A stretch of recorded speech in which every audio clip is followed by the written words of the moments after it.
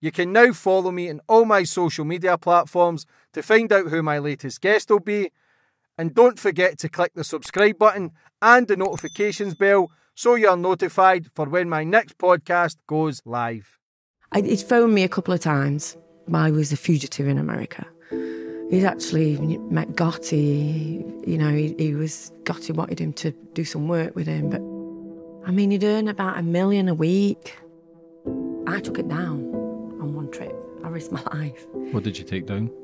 It was on the on just the thing of the car. It was a it was a bazooka and some Kalashnikovs. I guess you know you're flying here and then everywhere, but you're looking over your shoulder. Mm-hmm. So what, you know, and then you get caught, and then you're doing 20 years. I got 14 years altogether. Myra Hindley, Rose West came in, uh, so was walking across corridors, crossing them. I mean, I was in with the two IRA, Martina and Ella, the ones that bombed the Brighton bombing in 86. They were, because I was a double Cat A prisoner because of the mafia connection.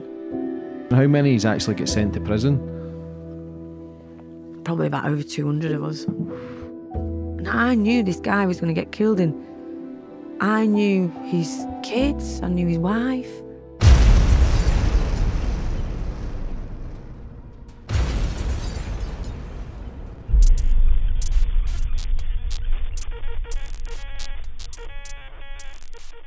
On, and today's guest, we've got what do they call you? The the the Mafia the mafia princess. That's uh, the journalist did that.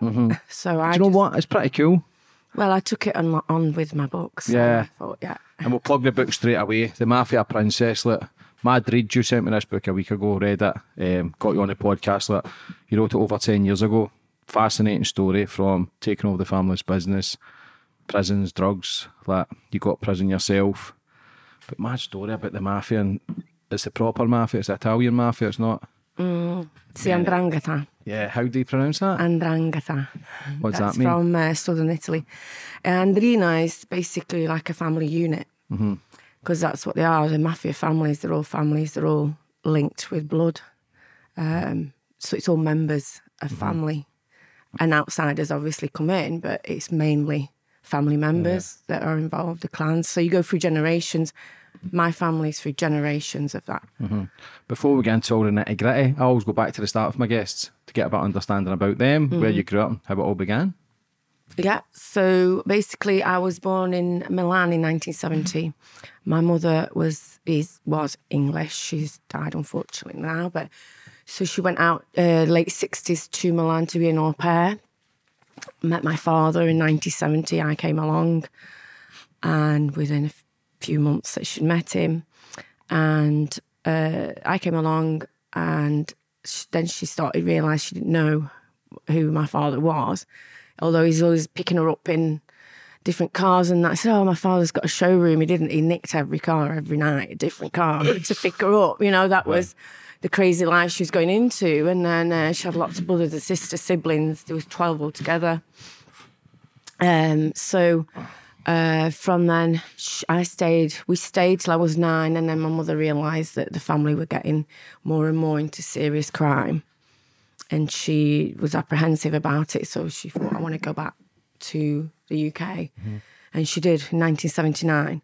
I didn't know a word of English till till then. And then they just took, sent me to primary, learned till I was, you know, in, in high school, I was actually as the level of a child of that age and spoke like a child. So it's amazing how much children can learn. Uh, So you say the the the mafia was bloodline. Was did your dad have a big family? Family, yeah. so they were already in the mafia. Yeah. So my on my nonna's side, my nonna's my grandma, my my dad's mum. She was born into the clan of Serraino, which is from the toe of Italy, Reggio Calabria. So you can imagine it's a boot. The toe is Calabria, and um, so she was born into that. Uh, but she decided in the 60s to go and live up in Milan because there was more opportunities, criminal opportunities. Because this is someone my nonna was didn't know, and all she knew was a life of crime since she was born. You know, all the brothers were high up in the mafia, and then of course she created her own clan in the in, the- in the north so my father became quite important because he was the one that was in a, he was going out there bringing involving different countries with the drug business merchandise and so um so I guess my dad without my nan they couldn't they had to have each other. She was the logistical side of it. My dad was the one that was bringing in the business. So they became their own entity and it was this this family down south turned for help to us to I'm saying us because at that time that's when I ended up going back when I was 18 so from 9 years old I stayed here and then I met my daughter's father fell in love with him he's one of the guys that used to work with my uncle you could say one of the soldiers and my father wouldn't speak to me for a year he was he wanted me to be with a doctor or a lawyer. It's like, well, how can you be like that when you just, you know, this is where we're coming from. It's not. Um, but, but saying that though, I'd lived another life. You know, I knew right from wrong, and I knew, but I, I had a massive pull for my family because it was the big family unit. I loved being there. It was the, you know, the the love and the loyalty and the affection, and which I didn't have in the UK. I didn't have a big. My mother's side wasn't a big family and they certainly weren't as warm as the Italian side. So when I went over every year, that was a big mistake my mum made. She took me back every year. Mm-hmm. So from taking me from nine, she took me on my summer holidays.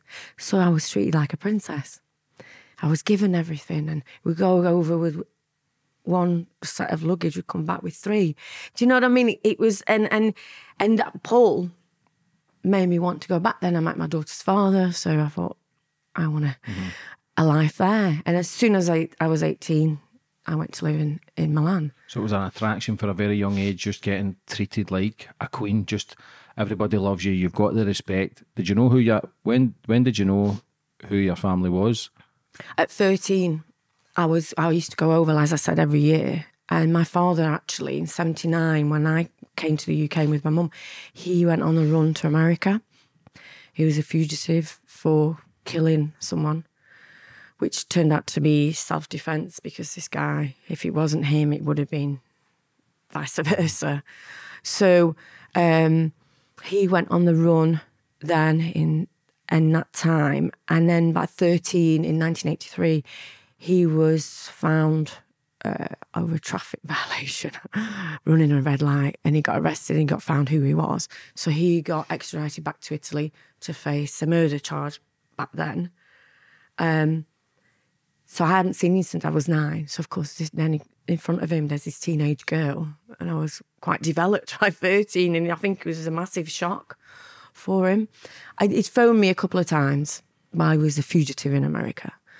He'd actually met Gotti. You know, he, he was Gotti wanted him to do some work with him, but they sort of did. But my dad wouldn't sort of. And of course, my dad is old school. He comes from the old family, so in America they can't be touched. If you know what I mean, they're not. Um, so yeah, there's there's so much I can go into with with Yeah, that. we'll, and we'll go down it all. Like, see, when you're, did your dad try and protect you from going down that life by keeping you here, or It did he? my mum that protected me. My dad, he he was in that life, and it was like, and do you know what people say? Don't you resent my your dad? And I guess in a way, Why do people say that? because he got me involved in everything I got involved in. but you, like you say, you know, you know the choices that But I was made. really young. I was eighteen. Naive. Yeah, I was very. So, this is my next thing I need to say. I had. It's only now. I'm a criminologist now. I did my. I got my honours. I'm possibly going on to do an, a PhD Mm-hmm. doctorate, which is wow. You know, from that to that, Mm-hmm. it's like so. but you've lived that life, so you understand it Yeah. more. But at first, when I did it, it was through my own wanting to know. It's like a therapy It's almost. very searching for your Yeah. own answers. And I did Mm-hmm. find quite a few answers. Is that for peace? yeah, it was sort. Yeah, I think I, I finally now at my age, I'm 52. I am far more at peace than I've ever been. I've had my head down in shame. I've, you know, I've tried to get away because I did what I did, and and then I've turned it around, and now I try and help with it. You know, try and give something back. Uh, I've been into prison to talk. I do A level students, university student talks about my experience uh, as a criminal, you know, having uh, the life, living that life, and in prison and you know women's prisons and and that should probably go on into. But um, so in doing that, I found that I had very much daddy issues going back to my father because my father always wanted a boy. To the point when I was eight years old in a restaurant with friends, he made me cry because he's talking about wanting this boy. Now I don't remember that, but I think my subconscious does, because I rem- all I remember was at the time that I was getting involved in a family business. Is I'm going to show him that he doesn't need a boy to do that. You know, I'm smiling here because it's ridiculous. Because now, as a grown woman and as a mature woman, I think, you know, why? I mean, the, the, repercussions of it and the hurt and upset and what I caused my mom and my child and yeah, sorry. And but of course, then when my child was born, that's that was a big slap in the face because I thought, oh my god, this is serious. What I got myself into. And of course, you've got to look back and you think with my dad, you know, yeah, I did make my choices. I was very naive and very, and I had a massive issue with him, a lot to prove to him. But who did he have to trust? You know, when you've got vast amounts of money, I mainly dealt with the money. Um, well, I got done for money laundering, and he not there's not many people you can trust in that life with them vast amounts of money to the point where we had a money machine. That's how much money was coming in. So, you know, I understood his. He didn't intentionally want me to break the law but he did allow it. Which you know, if I look, my children, one's thirty-one, one's twenty-two. I'd never dream. I'd say I'd do the time for them. you know, I would never dream of getting them involved in something like that. Um, Yeah, it's a difficult thing though, and hindsight's always a wonderful thing, Yeah. especially with these sort of stories. But so, so, so see, the mafia started in Sicily. Is it the same as the Americans? at five families in Italy, or how does it work? What's the difference between the mafia in Italy and the mafia in America?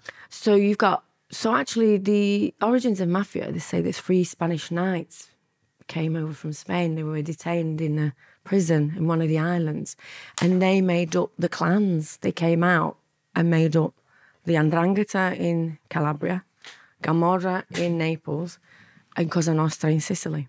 So there's three lots of mafias, if you will. Mm-hmm. So of course the origins, a lot of them that did go to America were the Sicilians to start with in the 1920s, 30s, and so excuse me. so, but there's a lot of Calabrians that went over as well. So the the difference is the you see they say the Americans say they don't involve the women, they don't involve, they protect them.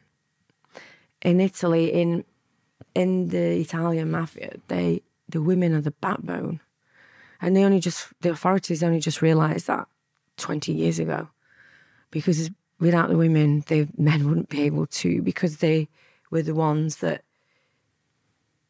But like I said, it's the backbone, the logistical side of it. Like I said with my nan, you know, the the, you know, behind every strong man, every strong woman. powerful man, there's a strong mm-hmm. woman. Not not all cases, of course, but so the women are very much involved. The logistical side, they're keeping everything together and making sure shipment gets in there where it's distributed.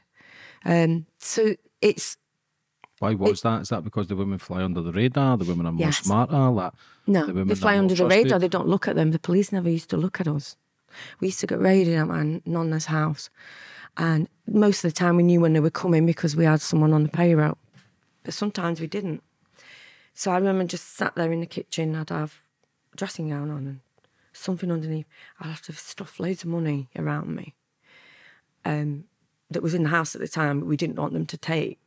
Sat on top of a towel that was loose with a gun in it they would never make me stand up and search me. So, it, because they didn't even look at us women, they didn't even contemplate that we could be hiding anything. Or, but whereas obviously now it's different. It's a different world now. They do, and you know the women especially the double deviancy. A woman shouldn't be thinking like that. A woman shouldn't commit crime. She's a nurturer. She's you know a mother and a.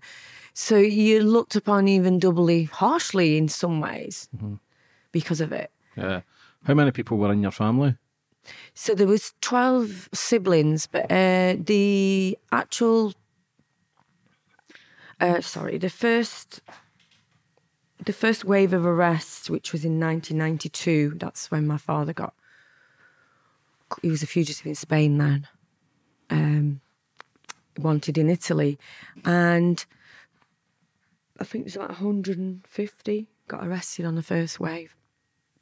Obviously, they weren't all family, but they're all connected to the organisation. Um, I can't quite remember the second wave, which I was in as well, because it was everyone from abroad that were abroad that they were then arrested. I was back in the UK by then, and I got uh, convicted here of money laundering. Then they extradited me back to Italy for a charge of- as under an umbrella of organised crime. Am I okay? Of course it is. See that sort of kind of circle and environment. Like how much surveillance and how long is a surveillance on a family like that? It was for a couple of years. They could not. They had. That's what brought us down. A lot of it was surveillance and talk, talking on the phone, and then that people talking, getting arrested. But the main one was my dad's sister.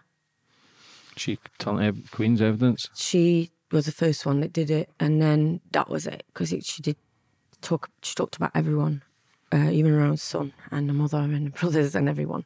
So, but she got arrested with a thousand tablets of ecstasy, and then it's all come out that it was my uncle's merchandise. She'd lost him some money. She was trying to get more money, so she pinched these tablets to try and gain back, make money out to give back. But he was quite ruthless with her. And this woman I hated for a long time because she put us all inside. And then I found out certain things, what happened to her, and I thought, hmm, I can sort of, I get it. Because that's not really, since doing my criminology, I think more, because it is a man's world, that world. And when they never look at the women and how, you know, the women suffer quite a lot. There's a lot of abuse goes on. It's not something that's talked about, and I don't really rarely talk about it. But a lot of, you know, abusers in, in certain, they are very much, you know, like very old school with women. Um, Physically Then- and mentally. yeah. So not myself, thankfully. No, that would never happen. Not with my dad. your dad was. Yeah. Well, yeah. I mean, I've had some uncles. I've had some slaps. I've had one kick me in the face. but I did say it was harsh. I did say because it's about my dad, and I was so mad with him. I said, "Oh, you should just go back to prison." And he just went boom, and he just kicked me in. But I was seventeen. you know, it's like I'm laughing about it because I've done too much crying already. But um, so it, you know, actually, is probably the first time I've talked about that. I'm not even sure I talk about that in the book. Was there much crying in your early years, or was it just an excitement for you where you didn't even know what was going on? I didn't. It's like it's weird. It's like Numb you're to it? detached. Yeah.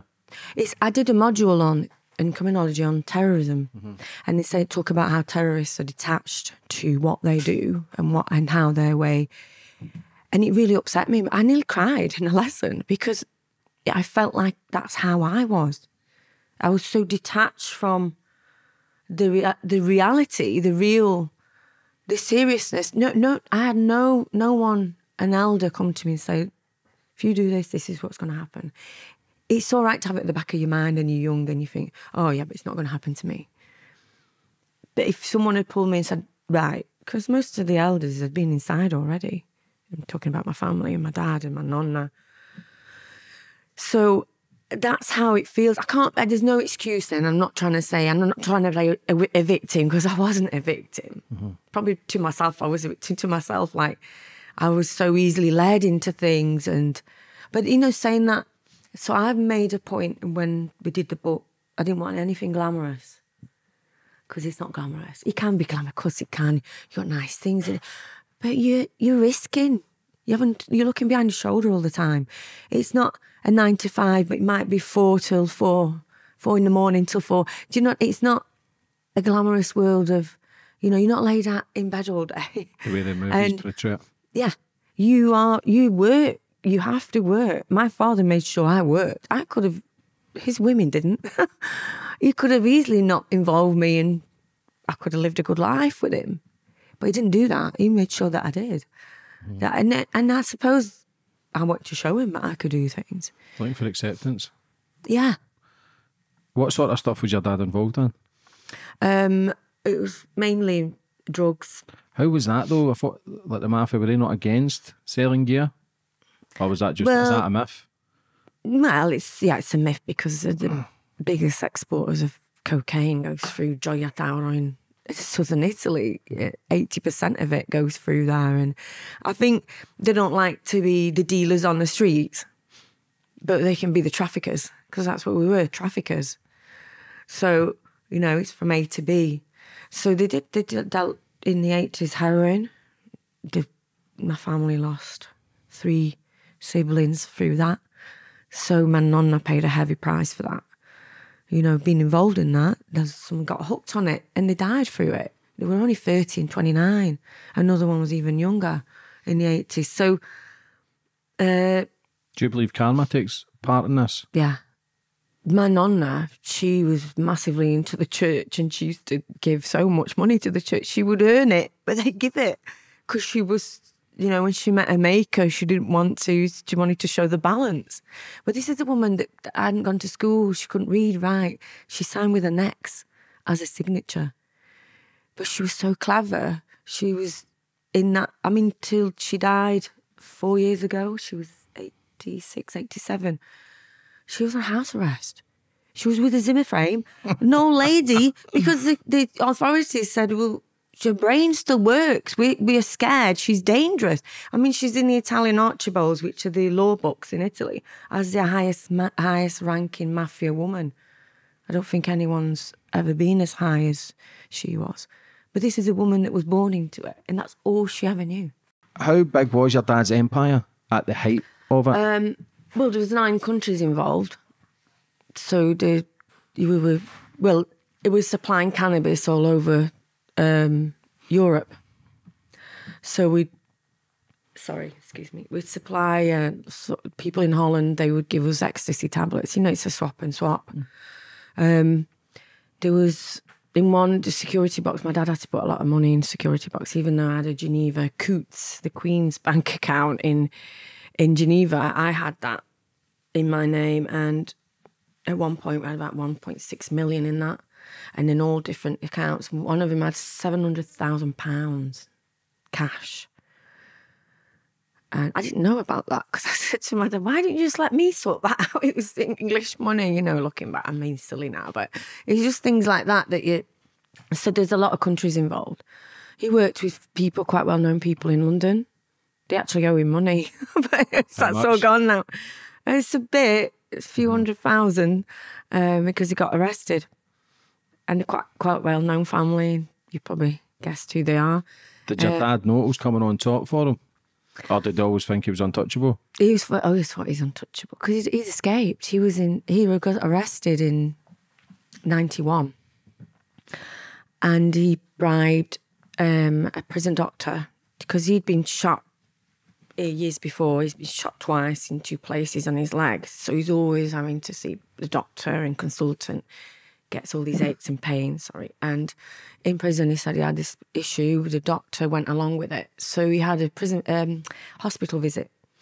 So all his soldiers, as you will, that worked for him, were all ready and waiting. He went six in the morning and um, they got him out. It was quite a big, because underneath the, I can't remember the, the hospital name, but they went underneath underneath our corridors, so he wasn't where the public was. But all these guys were dressed like doctors, and and they all and they had the first stun gun. It was just come out in America, and we managed to get one. And it was a big hype because there was no, no not even the police in Italy had the stun gun. So it, one of them dropped it, and the guy, the guard that was actually taking my dad, said to him, "If anything happens, you're the first one down." And this guy, this guy, after when his my dad's guys came and that, he actually peed himself physically, which is quite sad bit. But I thought, well, do you know what? You're the first one down, acting all the man, and then he actually peed himself. Yeah. So my dad got out of there, went to a restaurant that was friends with had a right big lap up Mealway helicopters and everybody was looking for him. He was in a restaurant in the cent- just down the road from it. It was crazy. Then he got out because used to use. Um, this is all. This is all in. Uh, on the trial papers. So I'm not saying anything. Out that- Yeah, yeah. yeah. So we used to use um, a big bus to bring across the cannabis. There'd be tons of cannabis.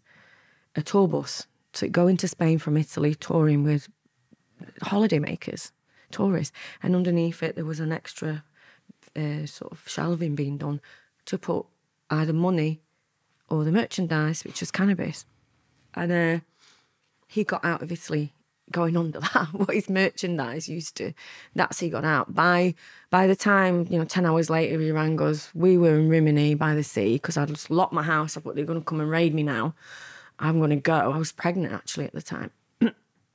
we were in Rimini and he called and went, I'm here safe. We knew he was in Spain. So we were all drinking champagne and celebrating because my dad was out. So this is what I'm trying to say. I was so detached from it. That become that was my life.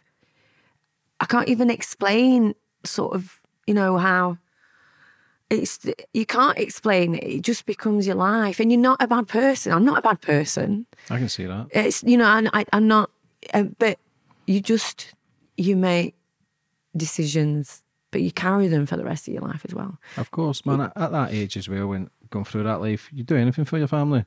It's trust. If you're if aunties and other people are turning against the family, then who do you trust? If you know you're hundred percent, then you do everything for your mum and dad, no matter if mm-hmm. it's right or wrong. Yeah. Do you know what I mean? If somebody, my mum phones me or my, and if my dad ever phoned me and he was in trouble, and it was the worst thing possible, would I help him? You fucking better believe I would. Yeah. Would I agree with it? No, but it's family in it. You Yeah. die for them. You're, Yeah. you were there to protect. As a father as well, you you should be protecting your daughter.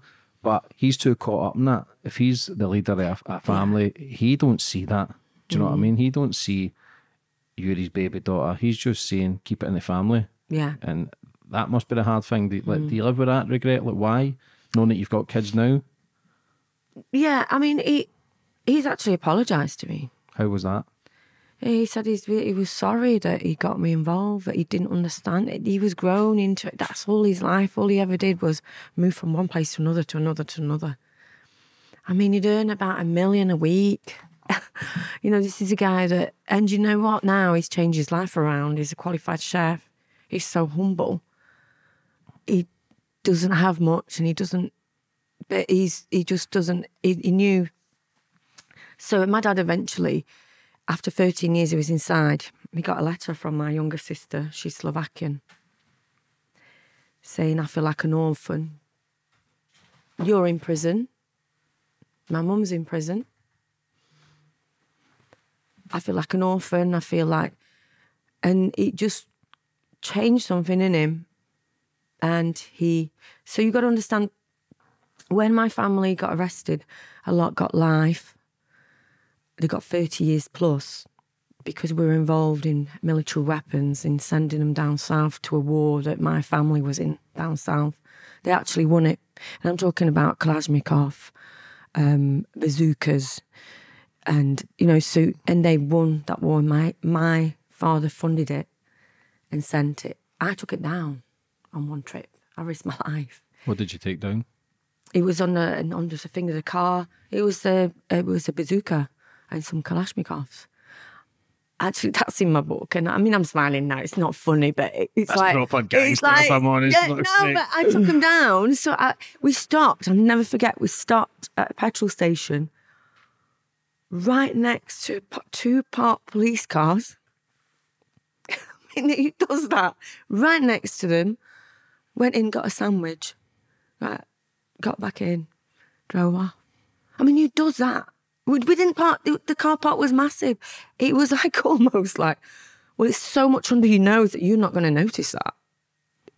You know, but it, but it was scary. It was. I was. Uh, to be fair, it was with my daughter's dad, and there was other people, but I'm never going to mention them. And there's a lot of things that I don't say or mention names. And when we got down there, do you know the thing that scared me the most? Which is this crazy. We've just driven down ten hours with all that. Um, that my uncles went, Oh, do you want to come out shooting in the mountains? I was like, No, there's a war going on. I was horrified that my then future husband was going to get shot. So it was a bit like surreal. I was like, I just drove down with all this. Yeah, I wasn't, I could have got 20 years inside for that. But when I'm going back to what I was saying, my family got a long time because of that. And because my my father's sister went grass, the family didn't want to know. And it was wrong that it was harsh on my father that and on all of us, the sacrifice we made.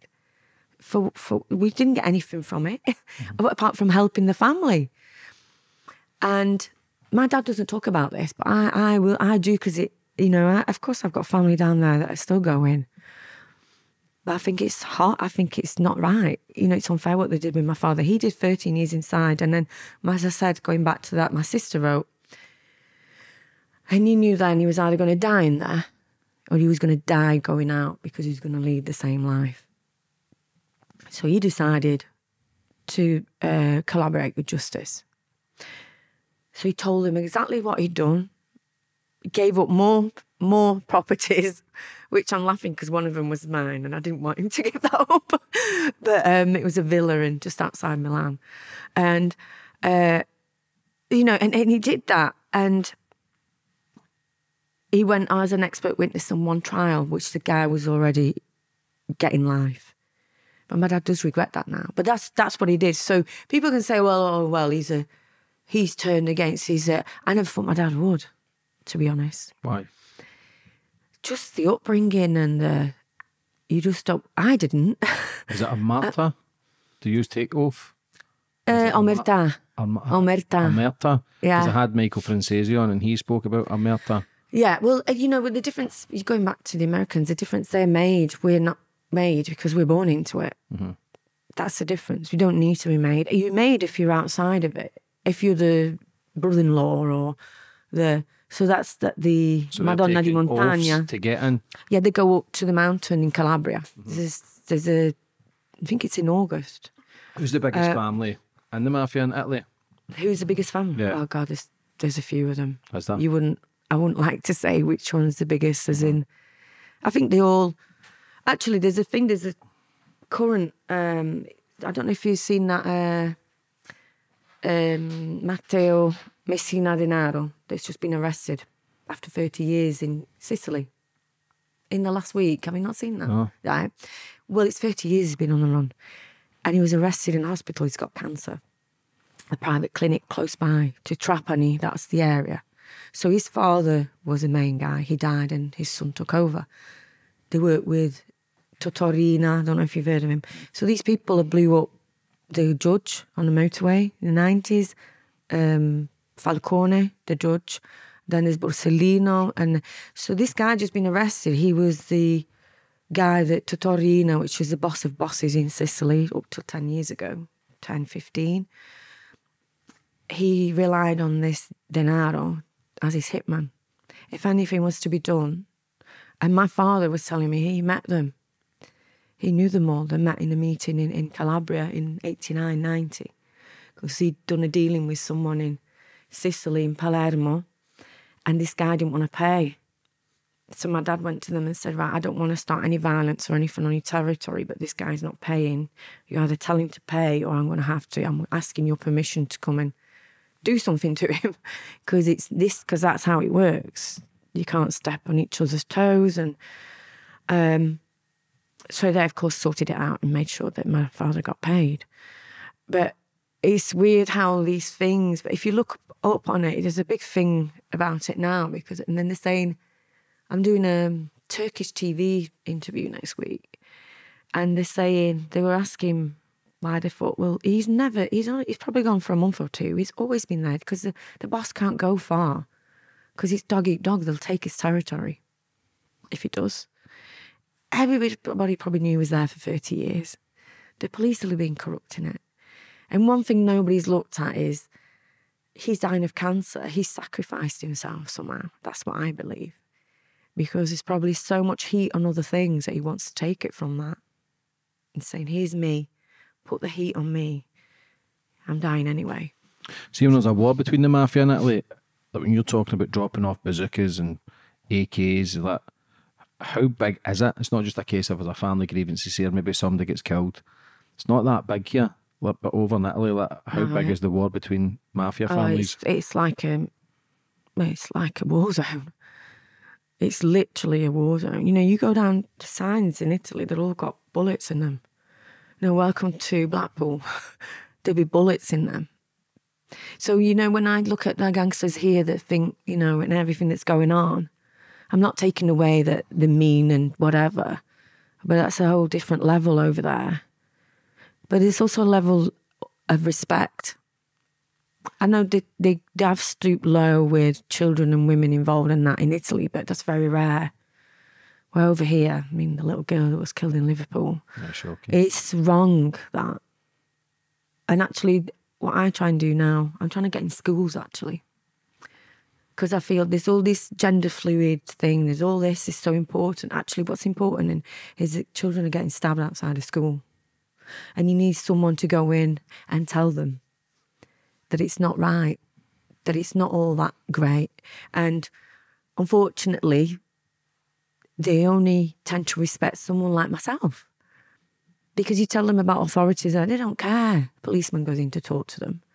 But if you bring in someone that's been in the mafia, they're like that. You can see it. You know, and, and the two take more note. I mean, I've had experience of it with my children in the past. Um, when my daughter was in the house and these two lads trying to get on top of my front door and on climbing on my house and my neighbour I was away for the day. She was 14 and my neighbour told me and I said, right, to this other kid, I said, point them out if they're here. There's a park just down the road. Two weeks later, he said, oh, them lads are at the park. So I went to them. First thing they did, put the camera out, started recording me. I said, who do you think you are coming to my house, climbing? Not your property, blah, blah, blah. Next time I call the police. Ah, yeah, police. Um, whatever, you're a pedo. Well, I, as soon as I heard that, and I, I, I was a bit ashamed after, but then I thought, I said, how dare you call me that? I have not done four years inside for a little shit like you to tell me I'm a pedo. Who do you think you're talking to? And they were like, oh my God, I'm so sorry. We thought you were a nine to five secretary. So I've had experience of it. That unfortunately, because you feel a bit stupid to having said that to a kid, but they tend to push teenagers to a level of like, hang on a minute. So, and I can I know that, that and so now it's like try and show these these kids that it's not good. Mm-hmm. It's not great. It's not. It's like the all the Andrew Tate stuff. Sorry that I'm saying mentioning that because my son is 22. Oh, Andrew Tate. I'm horrified. Who is this? It's a gangster. He looks like a gangster, but he's not. he's acting like one. He's he's chauvinist because he is chauvinist pig. Do you know what I mean? And I think, yeah, listen, each to their own. However they make the money, good luck to you. Respect in that way. If you, hopefully, it's not through trafficking of women or whatever's going on. We don't know. I like to think, let's wait. Do you know what I mean? I'm not going to judge straight away. Let's wait. Innocent to proven guilty. Well, we like to think that, but not when you're waiting on remand somewhere like where I was in Durham. what do you think the difference is between the gangsters in the UK and the mafia? There's no comparison, is there? There's no the mafia. It's a lot more of a family unit. There's a lot more lines you don't cross. The people on the street tend to, even though yeah, there's an uproar about the mafia because maybe someone's got shot that is innocent, just like, but that rarely happens. But most of the time, they're giving to the neighbours, they're protecting the neighbours, they're helping the neighbours. You know, someone needs treatment for cancer. Here you are. And that's what they do. But that's that's not just obviously it's for their own gain because they want to keep everything. You know, they don't want shootings on the street because it brings heat on. So they can't do all their operations. Whereas over here, they don't care. They should be thinking more about, hang on a minute, if this happens, there's a feud about what? Uh, Someone ran into the car and smashed the car. I mean, I don't know. I'm just saying, what is this feud about? Is it that strong that you're going out shooting also innocent people on the street? Is it worth that? It's discipline. It feels like there's no discipline. If you're in that life of crime, you've got to live by the, the, the rules and regulations what comes with that life. Do you know what I mean? If you're stepping out of line, if you're doing whatever and people get killed, then you've kind of signed up for that. But it's the innocence of the people who get caught in the crossfire here for, like you say here, that, that people think they're bigger than what they are. People Yeah. watch a few films here and actually think they're from the mafia. Like, it's just crazy how we see the world. But how does a young girl like yourself then take over the family business? Like, what what was the steps to that? So, as I said, my father got arrested in, it was actually Portugal. He got arrested in 93. And by this time, I was, my husband was arrested, my Italian husband, my first husband at the time. And I used to go every weekend to visit them. I used to go to Madrid prison to see my husband then, then fly on to Lisbon, go to the prison there, fly back to Milan on the Sunday. So this would be every weekend for about a year. And on the weekends, my father used to give me notes to give to his guys. So all I like to say, well, I took over. I didn't take over. I was my father's voice. So to me, I'd, I was, I, you know, people say, well, I took over, and people like to think that. Actually, it's not. I was relaying his voice. Of course, the logistical side of it, there'd be times where his voice, I couldn't just ring him, or and I had to make some choices myself. So I guess in that way, you could say you- I was running it. Um, but I just had good good guys around us, loyal guys that that helped me along. I mean, even my own uncle tried to take over, and he sent word to say, "I'll just give her a kick up the uh, bottom and send it to me." And I said, "Oh, really?" you know, but you got to think I was twenty three, just had a baby, so I was a really young girl, and you know when when I did my book and again, it was like a therapy for me. And my ghostwriter, Douglas Thompson, he said, I said to him, how can they have given me such responsibilities? I've got a child, you know. By that time, my daughter was probably about that age, sorry. And how could it give me such responsibility to me? And he said to me, well, you must have shown that you could take it. You must have shown, because it doesn't automatically, you know, you see these mafia movies and that, so automatically goes to the the firstborn, it automatically, you know, the, the responsibility. But it's not like that. They have to show that they can do it. But I had, that hadn't even entered my mind that they could see that I was responsible enough. To me, I was just like, right, well, I'm going to have to get on with it now. I can't leave. I tried. As I had my daughter, it was a big slap in the face. I thought, oh my God, I've got another, I've got a responsibility as my child. But unfortunately, I'd already committed the crime. And even though I tried to pull myself back because that happened of my father being arrested, I was pulled back in. And I had to step up and do what needed to be done. And that was for about a year. How hard is that decision? Newborn, dad's in prison. Let the kid would have been the past to go. I'm out. I'm done. You must have had money tucked away. Like, but how hard was it when your dad was in prison to, to choose that life with your dad? Was that again to get that acceptance and be willing to? That was to the loyalty the loyalty? and the love. Is that what it comes down to? Yeah. That was loyalty and love. It wasn't about, I didn't even understand about the acceptance till now. Before it was that, oh, I'm going to show him. when, as I was in the organisation, as I was taking money, I used to take hundreds of thousands to get cannabis, you know, and um, to Spain. Uh, I used to have it Bridget Jones knickers, you know, on the, on the airplane. You wouldn't dream of that now. But there's no, there was no laundering, money laundering laws then. You could do what you wanted, really. Uh, in fact, they're saying that's probably one of the people that brought that law in because it was a big, it was a big um, thing then because of what I'd done. I'd, I'd transferred monies from Switzerland, bought a show house, but um, I just thought I was. I thought I was untouchable. I guess you know. It's just Do you see a lot of yourself in your dad though? I never thought I was like him, but do you know what? Yeah, and even some of my uncles have said the apple doesn't fall far from the tree because of some of the decisions that I've made.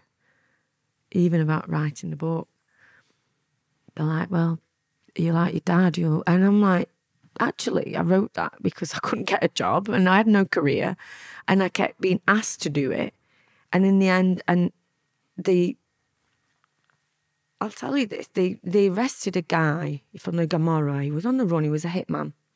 He had a limousine hire firm, and rented a house in Garstang, which is near Preston. I lived just 20 miles from him, but they decided that I must know this guy, in the national newspaper, I must know this guy. I must have helped him rent his house, and I had the same bank account, which was Barclays. And I'm like, well, so do Millie's. I'd never set eyes on this guy before. Mm-hmm. And then they just wrote this out, and then I got hold of my solicitor. said, How can it? Well, you're convicted. You're convicted. You can't do anything about it. I said, this isn't fair. I've been out 10 years and they still persecute me. So then I was, and someone else reached out to me about doing a book, and I thought, you know what, I'm going to do it now because I want to tell my side of it. Of course, there's a financial side of it because, you know, I couldn't get a good job, I couldn't have a career, I couldn't, you know, up to five years ago doing my uh, my degree, I was I was, I was self-employed cleaning. I lived in a council house for 20 years. I only just moved out a few years ago. I was born in one and I thought I'd die in one. It's not, you know, but it was more my children. I did it for them to have a future, to be able to have something too. And as I said, doing a degree as well. And it's opened a lot of doors. I do talks and that, not just such as this, you know, I go and, and, and it's earn earning me a living with it. Mm-hmm. Um, you know, there's also Amazon did a series based on my book this year. Mm-hmm. Um, it came out in April. It's called Bang Bang Baby. at first, I thought. Well, at first, I thought it sounds a bit pornographic. That I'm not sure I'm happy with that. so I was like the 1st uh-huh. initial, and then you know the song um, Nancy Sinatra, "Bang Bang, you shot yeah, yeah, me down." Yeah. That's where. So it's Bang Bang Baby. So it's an Italian series. It's dubbed now. Um, I think it's 10 parts. And it's the, the plot is completely different to my life story. They've completely changed it. Um, they've put some things in which is a bit controversial. I'm not sure my family are very happy with that. But the relationship between my father, my nonna, and myself is quite good. Mm-hmm. They've brought that in about with my father, you know. What's the what's the daily routine like for a mafia boss? Well, you're always here, there, and everywhere. So you could be last minute, you've got to catch a plane to Spain. You've got to catch a plane to here, or you've got to go and do this. It's not, there is no such routine because you're here, there, and everywhere. It's, it's whatever, you know, it, how can, how, of course, it's not the nine to five, and that's what people are like, oh, well, it must be glamorous then because you are catching a flight to there and you have it. But yeah, I guess, you know, you're flying here and then everywhere, but you're looking over your shoulder. Mm-hmm. So what, you know, and then you get caught and then you're doing 20 years. I got 14 years altogether. You know, fortunately, for legal technicality, I ended up doing four. But I should have been out far later. Um, so going back the routine, there is no such routine because it's every day's different. When did the house of cards come tumbling down? Uh, when did when it all... my, my father's sister got arrested. And how long ago, how far along was that since um, your dad got arrested? This was 92, 1992. So we're talking 30 years this year, yeah, last year. 30 years. Does it feel like yesterday? No, not now. Nah, I've moved on. No, you've it. It did do. Mm-hmm. It's taken a long time to let go of certain things and um, your own demons, I guess. And like we said, you know, to find some sort of peace. Because, you know, indirectly, I know people got hurt. And I'm conscious of that and I carry that. But, you know, I, I did my time inside there's, and there's a lot more. You either go in and you realise on your first day, I do not want to come back in here. Or, no, or it's a vicious circle. Mm-hmm. Like people keep going back in. And it's obviously not touching them or it's not making, because I don't think prison works anyway uh, there's, I think there should be, other, of course, there's some you have to lock them up, hmm. the really bad ones, and the, and that's going on to you know HMP Durham. I was in with Linda. Linda Calvey, the Black Widow. Yes, I was in with her at that hmm. time, and uh, Myra Hindley, Rose West came in. Uh, so we was walking across corridors, crossing them. You know, horrible, horrific thing of Rose in the shower. coming out and she's like that naked. And I'm like oh my god. You know she was on remand then. So it was like well did she do it? Did she not do it? He's just hung himself. We didn't really know what because of course when you're in there you're not got like oh you did that. And a lot of them do say i'm innocent. And you're like well but the mask comes off after a certain time. When you're around people you know you can't have the pretenses all the time. Sooner or later you see actually i can see you doing that. What was Myra Hindley like? uh, menacing. Presence was menacing. There's an aura about her. You can't i can't really explain. I remember she came across the landing once and she just looking at me up and down. It really made me cringe. I mean i was 25 26 i was fit i was in the gym four hours a day you know i was and she had tendency to like women didn't she and i was like oh god don't look at me you know it's like, but and with rose it was weird because she's like the next woman on Tesco queue. It's like, but actually, there's certain things about her that did sort of, um, she just, you can sort of see. As I say, with time, it shows a person. Um, I mean, I was in with the two IRA, Martina and Ella, the ones that bombed the Brighton bombing in '86. They were because I was a double Cat A prisoner because of the mafia connection. And they were the first ones to take me around Durham. And at first I thought, oh, I feel a bit like a VIP because I'm getting shown around. Whereas Grizzly Risley was horrific. Risley Prison in Warrington. There was a female unit then. And then I got taken to Durham and I thought, oh my God, it's so far from home. And I did, it just didn't, it took about two weeks to trigger in my head. This is a prison within a prison. These are all lifers. I'm never going to get out of here. I actually thought I would never get out of here. Mm-hmm. That's a scary thing, innit? See when was it your auntie? It turned against everybody. Yeah. Like, what was that feeling? Did was that totally out of the blue, or was there always a suspicion that she was a a, a suspect that she could have done that? No, it was out of the blue. But actually, afterwards, when you look at it, she was the weakest link. How so? She was on amphetamine, slimming tablets. She's crazy anyway, like crazy. But she she's and that she was nice as well. I liked her as an auntie. Um, but she was always cra- doing cr- crazy shit. you know, there's never. Can I swear? Of course you can, yeah. It's anything goes. ju- yeah, yeah, that's right. Anything goes. Yeah. Um, I don't like women swearing. it's like, Listen, but sometimes fucking- when I get no, listen, but You've drove if I about get with fucking bazookas and you've drove about with bazookas and grenades. I'm sure you fucking swear. See what I mean? It's Uh. just crazy. It's like one extreme to the other. Yeah. It's crazy. um, But she was a now it- nutcase. Yeah, she was. auntie. Yeah, she was. She just, she just would do really like. Whereas my other aunties were all really Mellow. Uh, yeah, most of them were involved in the family business. There was only about three or four that were. Did you ever look at them and feel envious? No, they might have been the other way around. Jealousy towards a you? didn't. Yeah, because I was my nonna loved me. I was the daughter of the firstborn. She, uh, my dad was a favourite. My dad was the one that was bringing in everything, the making the money. And there's a few that were sponges mm-hmm. because they, they didn't know, but they wanted that life, but they didn't want to get their hands dirty. And my dad used to go mad. I said, "We can't do that." And not, uh, you know, look, he's involving his own daughter, so he's like, "Well, no, they've got to get up and do something." If anything, it was the other way around. And I'm not saying that they were.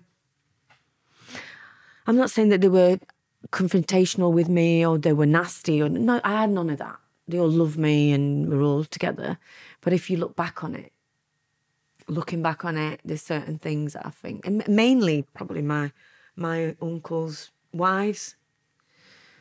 You know, there's a few that were a bit sort of. Uh, So your dad gets to jail, the auntie turns, like, was the, the, the falling of the house kind of when your dad got went to prison? Like, did things start Yeah. tumbling down Yeah. then? Did Yeah. you see the cracks? Like, it was too hard to keep together? Yeah, well, especially when you're fighting your own family, when your own uncle wants to take over. It's not good, is it? Could your dad So- not have got to him? Um, I don't even think that I actually told my dad at the time because I didn't want to cause. I didn't want to cause a war. I didn't want. the crack to get even bigger. I thought I could handle it myself, which I did, and he didn't push it any further. So it was years later that my dad found out about that. What was your auntie? What was she offered to turn? Uh, immunity.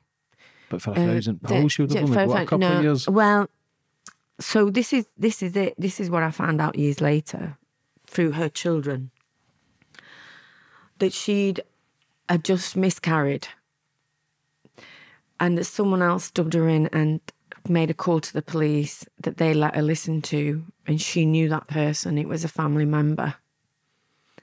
She was devastated that a family member rang in but it was all to do with this baby and the man she was with. This family member was having an affair with this man. It was just it's typical, you know. you think you see things, and and she just miscarried because he'd kicked her down the stairs. This is what I'm talking about: the abuse, abusiveness mm-hmm. of, and she was at a place God knows in her head. This is a woman just miscarried, been kicked down, found out that her partner's having an affair with another member of the family which was from outside the family anyway. I don't want to name names or. And I'm like, well, actually, I get it. Her head was fucked. Excuse my, you know, she was gone. I'm not making excuses for her, and I'm not saying it was right what she did. But she was vulnerable. The police pulled her in. Listen to that. She knew exactly who that voice was. That was it. It was done. You know, and years later, she has said through other people, she regrets it. She wished she didn't do it. So, as far as concerned, she we thought we should do it. No, never, never thought any of my family member would do that. But she was the most craziest one that would have, would have, you know, the weakest link, like I said. So, see, when, when did you then get the charge? When did you start getting charged? I got arrested in June, um, 1994. It's nearly 30 years ago. Yeah, And your dad, he was already in prison at the time. yeah, But your, your nana get 30 years as well. yeah. She got life.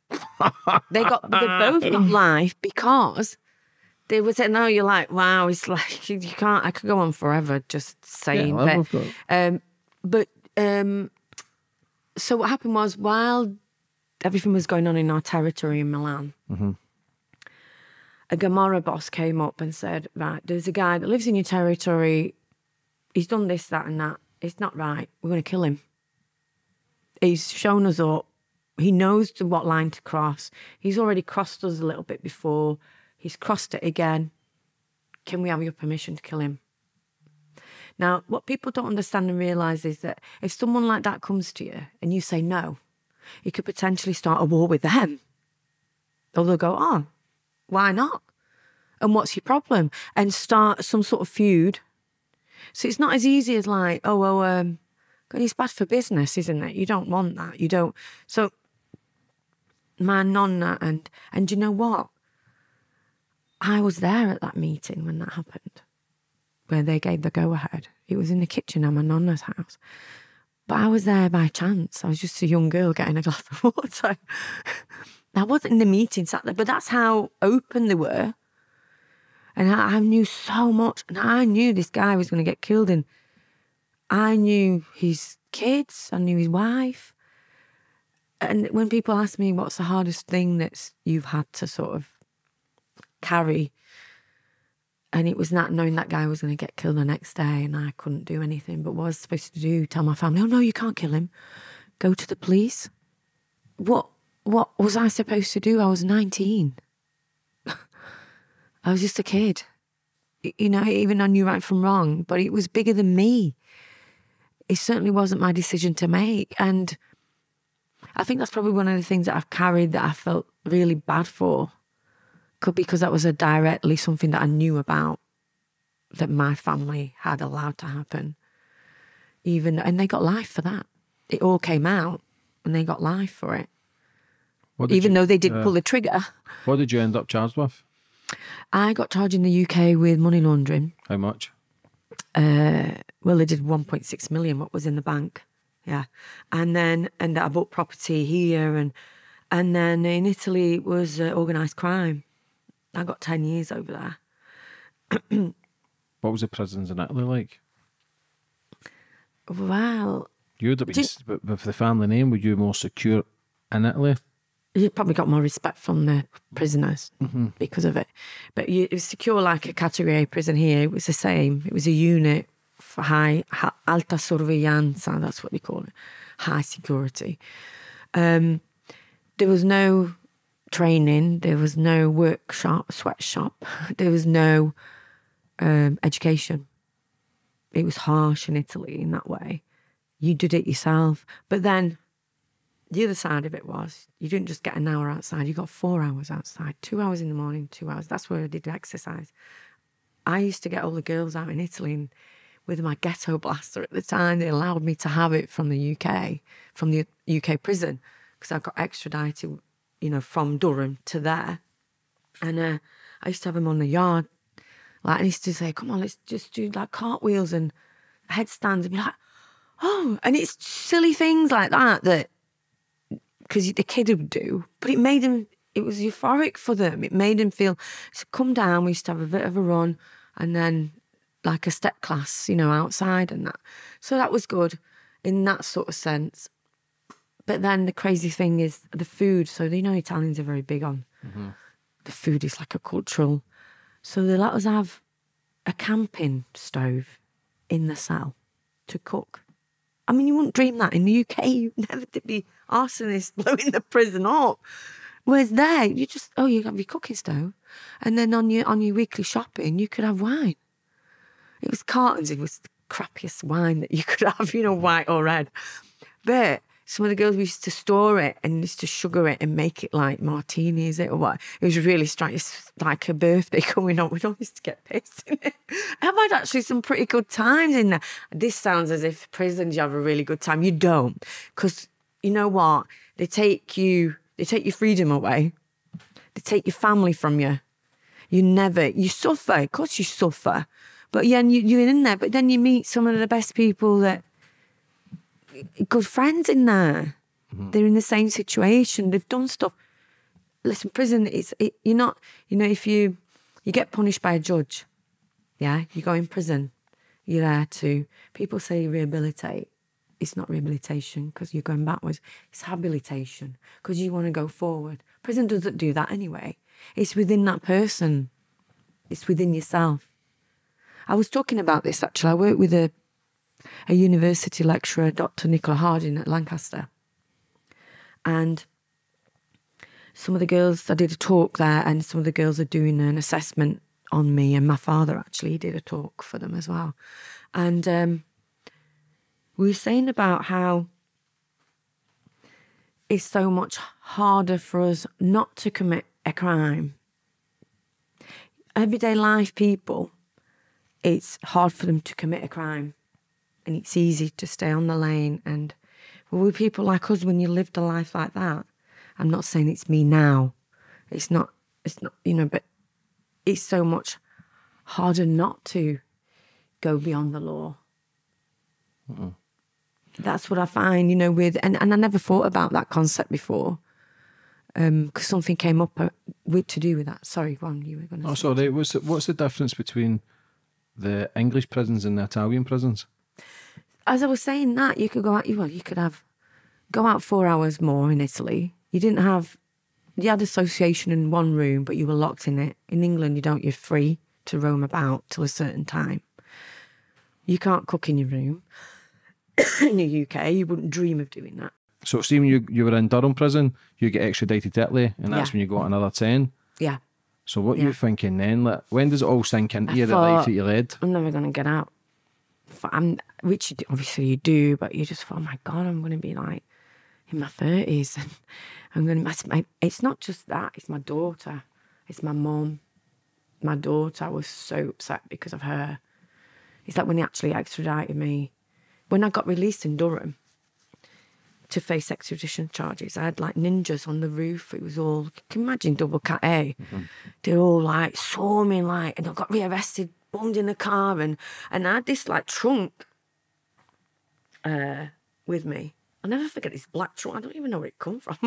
it wasn't a suitcase, but normally you just have bin liners, HMP bin liners, don't you? See through. So, yeah, see through. I still got some of them somewhere with all the stuff in it. uh, letters in that somewhere in the loft or wherever. And so uh, I ended up, they took me back to Durham. Now, I went to Ch- uh, Charing Cross Police Station. I went to Bow Street Magistrate was open then. Charged me. Well, they said, right, you're going back to Italy. Took me back to Durham. Took me back down, went to Holloway. So by this time, I'd been in inside two and a half years or whatever. So I was like, they wouldn't let me out. They wouldn't let me for fresh. I said, listen, it's not my problem. You've got no helicopter lines. That's what guys have to. It's not my problem. I, I, by law, I should be able to go out an hour. It's not fair. It's not right. I kicked off a bit. Wow, I wish I'd never had.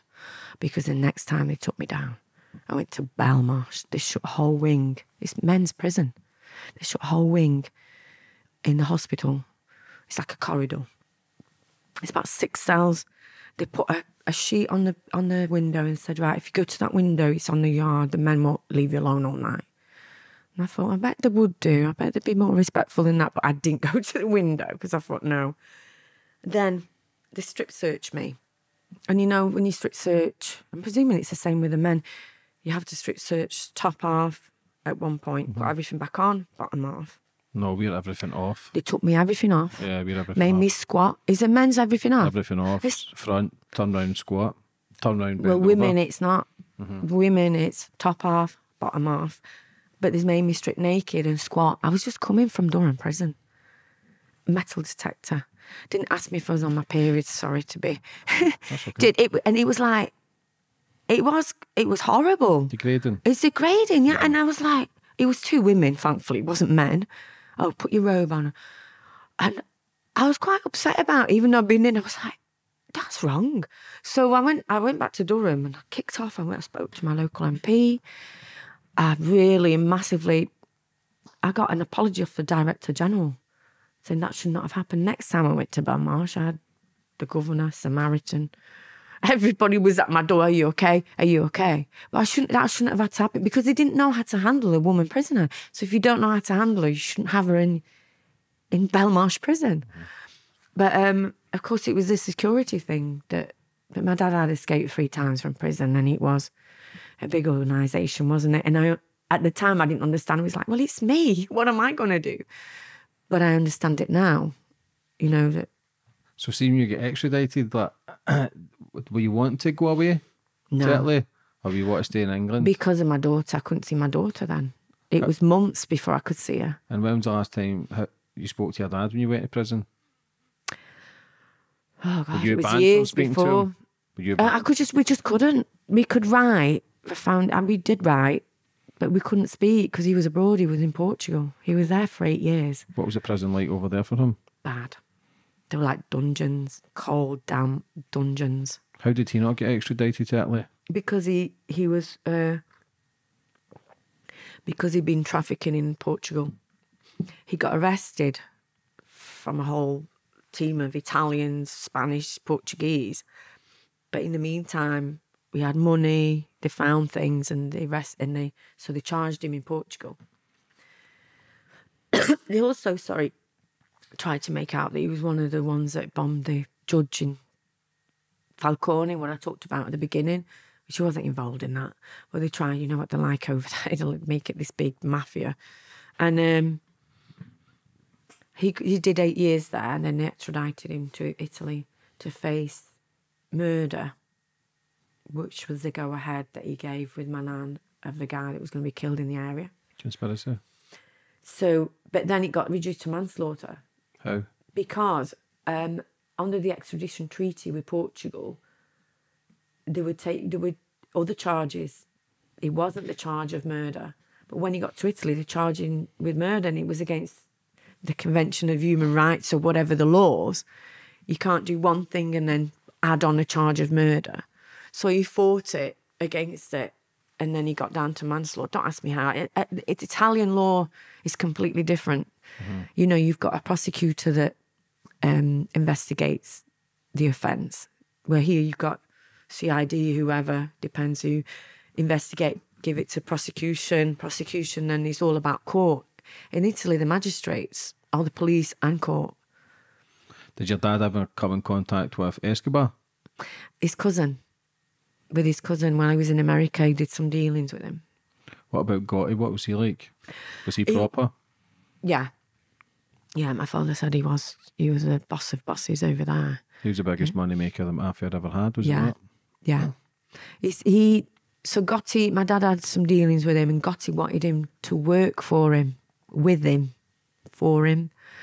But because my father was his own man, he wouldn't have that.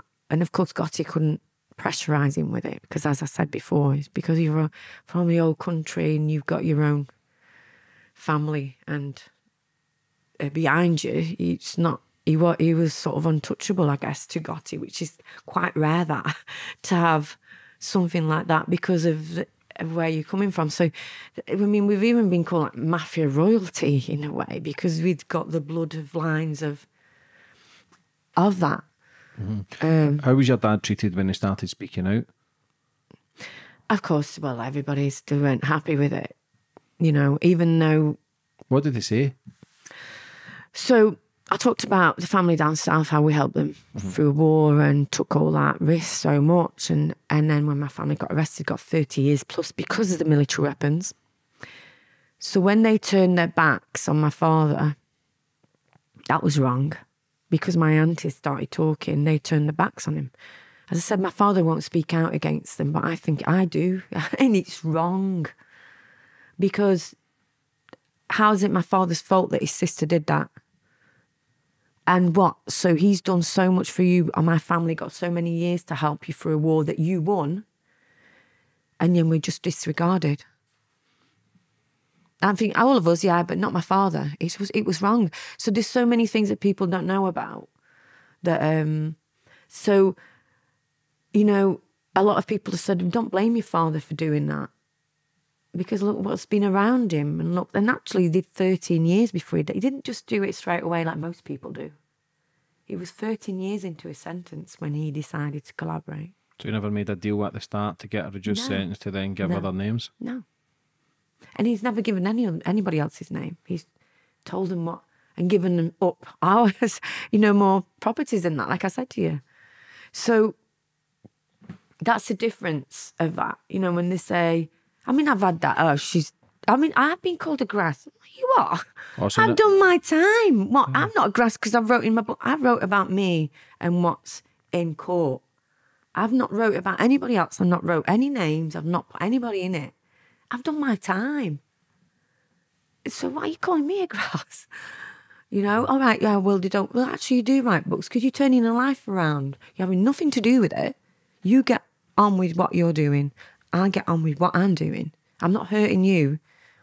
So what was the main reason for your dad to then talk about his past or was it what was it? Because he knew it was, well, my sister had wrote to him and said, I feel like an orphan. And that, I think that pulled at his heart. Something clicked. And he thought, well, I'm either going to come out. Was near the end of his sentence. I'm going to come out and I'm going to go back to that. I'm going to die. I'm going to die in here. And the only way he saw his life changing was if he gave up that life. But that was the only way he was going to give it up. And the irony is, James, that even now, he has people, they want to work with him illegally because they know he's like a money machine. He, they know how what he can do and what he can. So all this about you know, oh yeah, the the the, the crim, you know, the other side look at, upon my father as really bad. He's gone against his what he was born into, and he's gone against. They still want to work with him. no one knows that. Of course, he won't because he's like, no, he's literally has changed his. I'm proud of him for that. That he has changed his life. so that was like a confession. What's that? That Yeah, with your father coming out at the end of his sentence like a confession of his sins, kind of. Yeah, he sort of, uh, but to be, he could have come out without doing that. That's what I'm trying to say to you. But where would you gone? What would you done? Gone back into that life. So what I'm saying is, he's not like one of these that, you know, as soon as you get arrested, oh, I'm going to talk about. I'm not going to do time. There's a lot of them, isn't there? Yeah, Jeff. He- Who was, who was it? Sammy the Bull. Sammy the Bull. I think he was a hitman. He fucking just gave everybody up. Yeah, just, just like that. You know, it's like, uh, yeah, that's right. Sammy the Sammy, the, Bull. Bull. Yeah, yeah, yeah. Actually, once someone put something that he wanted me to go on his podcast. He's, Oh, he's out. He's The American, 77, yeah, I think now. guy, Yeah, yeah, yeah. Yeah. Mm-hmm. Um, there was something about that. How, Um, do, how do you get out, out that life, Mar- Mar- How hard is it to get out that life? Is it either dead or prison? Yeah. Because it is over there, especially. I mean, I was lucky enough to have this life over here. Mm-hmm. I'm not saying that a lot of my family are just leading normal lives now. One's a dinner lady. you know, it's it's quite humbling and good for her. She's out of it. She could start selling stuff and knows all the contacts and connections, and they make. But, but then for what? To go back in there? This is the vicious circle all the time because sooner or later you go in, and do you know why? Because you got weakest links. It's not you yourself; it's your weakest links, and you end. You will end up inside.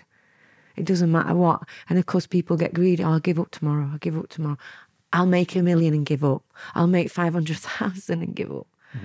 And they don't because they become, become greedy, don't they? And Yeah. How much was the police saying your dad was allegedly worth? uh, well, they've got from deposit boxes.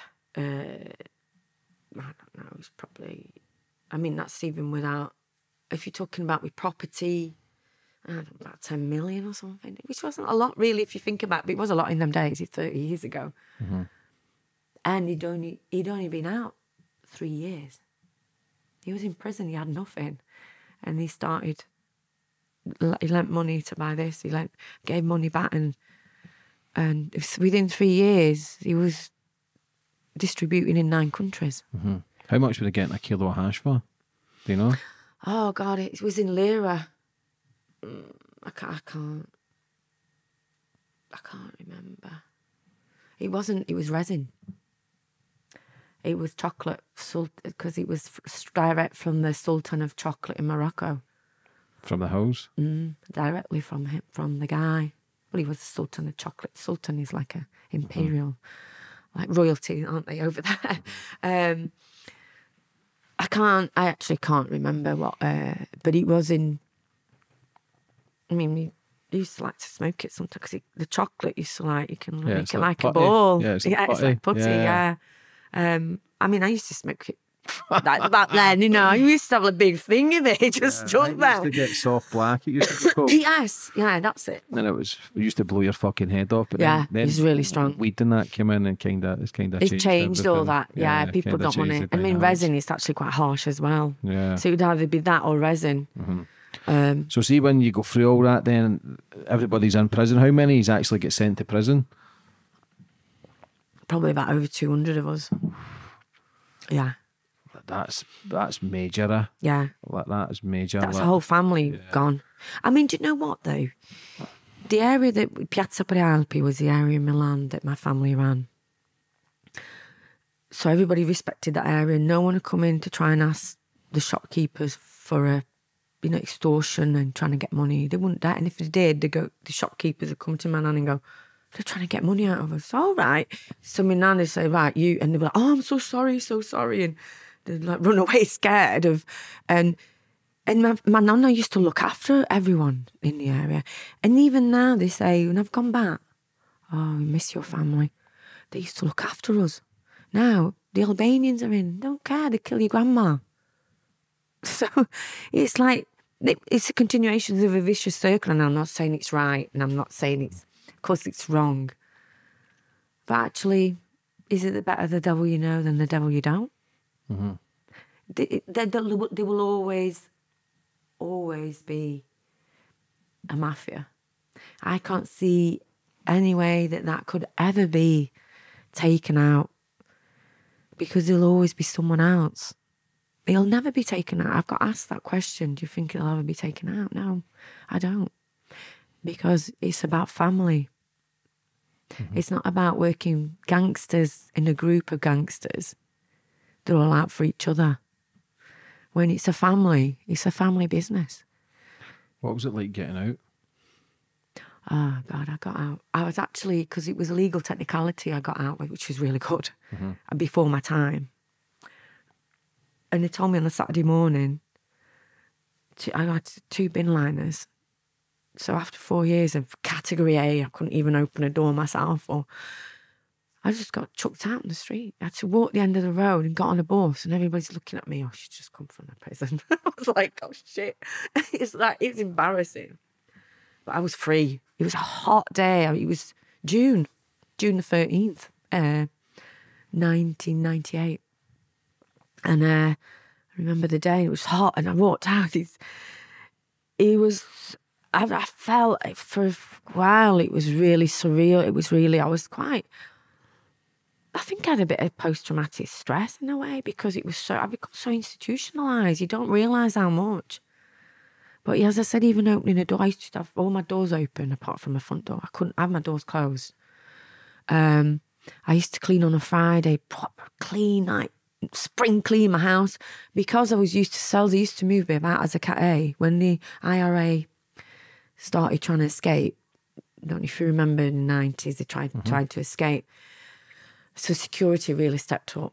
So they used to move the cat A's every month to a different cell. I said, I'm sure you want me to clean every bastard cell, you know. And they're like, yeah, get in, you know, she's in there, and she's cleaning, scrubbing the mm. walls, and you know, and you're like, and you've got it because I was like, oh, because it doesn't matter how much you scrub them, it's, you still feel dirty anyway. You're in a cell.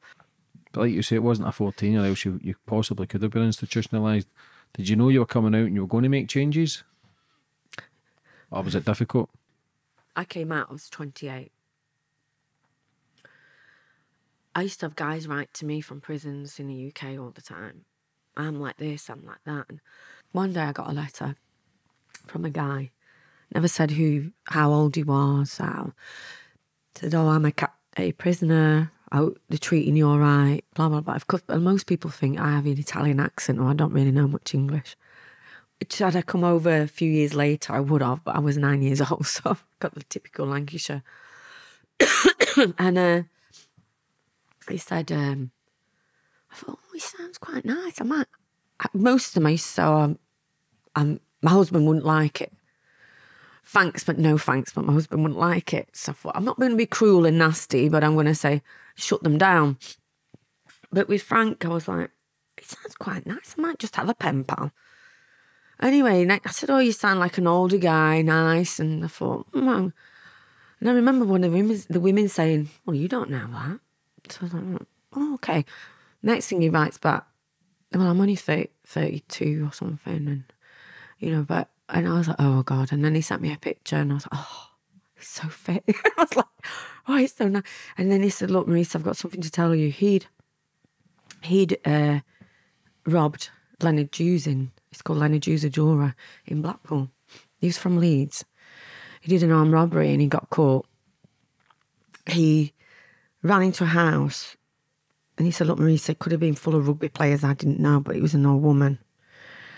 And I held her hostage. He said, But I'm not an aunt. I'm not a thing. Actually, and then actually, there's an article, this woman's saying, Oh, the gentleman, you know, gentleman Robin was making me cups of tea. He was mortified that he was, you know, the, the daughter came from work and he was holding him. And then, the, anyway, he gave himself up in the end. And but he felt really bad that he said to me, trying to say to me, Look, I'm not that. And you know, it's all right. And then it's time we used to write. And you know what? People say, and I, I had to really eat humble pie with that because I got to know him so well through letters. Sometimes when you're face to face with people, you think you know them. But when you're writing everything down, you don't tend to hold back. So with letters. So I fell in love with him he fell in love with me. I fell in love with him. He told me he'd change his life. He was not going to come out to all that. Uh, yeah, he had a few hiccups with people that had let him down on the outside, but blah, blah, blah. Sorry. Next thing, I came out in 98. We're still writing. I went, I got extradited. We were still writing. He was still writing to me in Italy. I came out, went to see him. He was cat A, so I had to go through all the thing of getting the police coming around and saying, "Well, why are you doing?" I said, "Well, I'm, i love him. I, I, did love him, but it was like a love of lust. at the time. No, it wasn't even lust. It was we were both in a bad place, vulnerable. We needed each other. Mm-hmm. I did. I did love him, but how did you I get your address? I was in HMP. It was all over the newspaper. HMP Durham. She's in HMP Durham. So people, so people just send you letters. Yeah, yeah. It's fucking creepy as well. But no, I know, random. One used to send. Can we have your autographs? No. um, can, do you want a canary? I'm like no. Uh, you know, do you want? And I was like, really weird request, like like what, and um, so that's what happened with Frank, and then I did fall in love with him, and you know what? For he's quite he's quite a ruthless guy. I mean, Charlie Bronson put him in his book. I, think he's in Legends about how he's like the real deal. He was uh, he was ruthless and he was in like on the seg all the time. He didn't finger to the prison, which he made his prison time so much harder because he just wouldn't, you know, he wouldn't stand for it. And he's nonsense from the screws, or mm-hmm. he was in a shit protest. He did everything. He was on the roof when they did the riots. Um, Were you attracted so, to that? No, because I wanted about, to try and get away from that. Yeah, but seeing you talk about the daddy issues, and you'll tend to see that they always go down the route of an overpowering man, or they tend to be quite aggressive, or the kind of be fucking loopy. Like, yeah. Did you? Did I you saw a soft side of him. Did you? Yeah, and then when I started visiting him, he was soft as shit. Excuse me. No, to right. me, yeah, yeah, yeah. There's a lot but women people don't see. Yeah, yeah, they women don't make, see that yeah. side, and he has such a kind, generous, Mm-hmm. beautiful side to him. Is he still alive? No, he died. He got shot. And what's his name? Frank Burley Was he a proper? got shot in Leeds. Yeah. He- well, he was. He's, Were he you still went- with him when he got shot? Mm, I was three months pregnant. My son never met his dad, which is I went through. It was a hard time. It was harsh because I just come out of prison and I got myself in a situation where I'm in love with this gangster. That he told me that he was out of that. Then he came out, but his ego got too much for himself. He was like, and then people were trying to put. uh, He was like, well, this he wanted to open a nightclub in Leeds with his brother. He wanted, and I, he wanted to go legit, but people were putting spanners in the works for him. He said, Well, I've just done time. I kept my mouth shut. And they're still trying to. And then he got, it was just tick for tat. There was shootings in Leeds in the early 2000s. If you look back on it, there's a lot of shootings and that. And um, he was one of them. But he'd just gone and shot someone in the leg. They were running away from it. The gun had, there was already a fault with it. It had gone off. They went over a six foot fence. The guy behind him that was with him had the gun because Frank passed it to him and there was a caravan and it, and it was it was eleven o'clock at night. There was a caravan and a garage. They'd gone to the end of it, and on the drive there were people saying goodbye to some who lived there, so they had to pull back to hide. As the lad came over, the shot went off and it hit Frank at the back of the head. Now I always thought there was a lot of enemies at that time, and I thought this had been done purposely because he had a lot of enemies. But then I've been told that it wasn't purpose and it wasn't. And uh, and the guy who did it, I went to see him. And he, some of his family members did see him and they believed him. I said, Well, I want to see him. and they wouldn't let me. They wouldn't let me meet the guy that shot Frank. It was an accident. Well, I want to see him. I don't know. I felt like I need I needed to for myself to see. To feel it, Yeah. you'd have known Yeah. if it was legit and or not. yeah, they wouldn't let me. And uh, then I asked around about him. Said, "Oh, he's long gone." So I can presume what that means because Yeah. he knew a lot about people as well. So I don't know. I'm making, I'm surmising here. But from my own opinion, if you're not involved, the first thing you do is go to the meet. The first thing you do is listen. No, no, no. But if you've got something to hide, you, you kind of stay back. Yeah. How does that make you feel? Giving birth to your daughter, prison, Th- pregnant with your son, hu- husband dead. Now we go back to the karma thing. Like, how much do you think plays Yeah. a part in I your think, life? Well, when I'm, I'm doing criminology now, Mm-hmm. I've talked about, as I said, it's like a therapy. I've never really been to, well, I have, but a very short time. I was pregnant when I lost Frank. My mum dying, I went to speak to someone, but it's not even, you talk, you talk. I'm not ashamed of saying it, you know. It's like, you've got, how much you have to go? I've never taken pills. Probably I should have. but, you know, I've never have. Thankfully, I never had to. Uh, although I'm hormonal menopausal now and I'm on HRT, I've had to because I'm, I'm going crazy here. But um, you, you, I think there's a pivotal moment when Frank died. I'd already decided in prison I didn't want that life. Unfortunately, I was in love with someone that was carrying on in that, even though I knew that he didn't want that. But I loved him. So again, loyal to him. Not that I want, but I didn't do anything to end, want to end up in there. So I was completely detached. He didn't involve me in anything to do with whatever he was doing. I was back at home and back in Blackpool. He was in Leeds. that pivotal moment was when he died, and it's completely. so sorry. I've not got over this yet. Have okay. Um, he died, and that was a moment that I thought, I'm never gonna date a criminal. I'm never gonna date a cop. I always knew that anyway with a cop, but I'm never gonna date a policeman. I'm never gonna date a criminal. So, I've dated electricians. I've dated my my husband's a mechanical engineer. He's a nice guy. you know, he's uh, he's got an edge to him. You know, he's he, you know he's. Do you he's need that? I think normality, but he's normal anyway. I'm You not could- if a- normal. If a, man's coming into your life and he's soft, you're going to walk right He's over run. the top of him, or you're going to run a, a mile. Do you know what I mean? yeah, Like you've been through, like I say, you're driving about with fucking bazookas. You're not wanting just the average Joe who's yeah, because you're living a lie then. Because we all want a quiet life, but something kind of misses. We think, mm, I still want a bit of something. Do you know what I mean? It doesn't have to be as extreme as shootings and No, drugs and no, all the other yeah. madness, but you still need a man. You've been through men who's protected you your whole life. You can't be, and this is only me Mm. having my own opinion. I don't think you could ever be with somebody who was soft or a, they couldn't. Uh, the the thing is, a lot. But I've been I've been out with a few. I've not been out with many anyway, but with a few, and been quite big characters as well. They've quite well mm-hmm. known, some of them, and I think what attracted them to me in the first place became a problem for them because I am so strong-willed and so independent. I never thought I'd get married. I never thought any guy'd ever possibly because, like I said, my past would always become a problem, even though it's never in the face. But I've wrote a book, mm-hmm. and people know who I am, and you know, you get other people asking or being polite and nice, and oh, well, what does he want? Oh, do you know what I mean? It becomes a problem, even though it's work or it's so. But then again, it's a turn on for a lot of men as well.